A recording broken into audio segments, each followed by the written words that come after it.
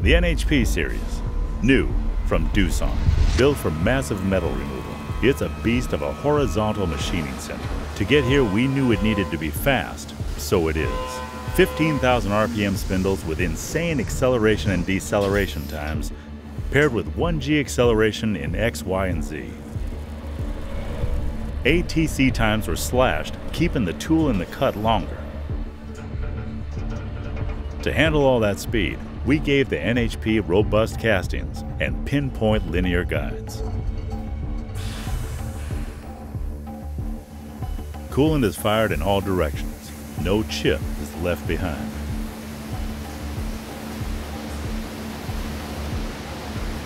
Quicker pallet change times turn seconds into dollars.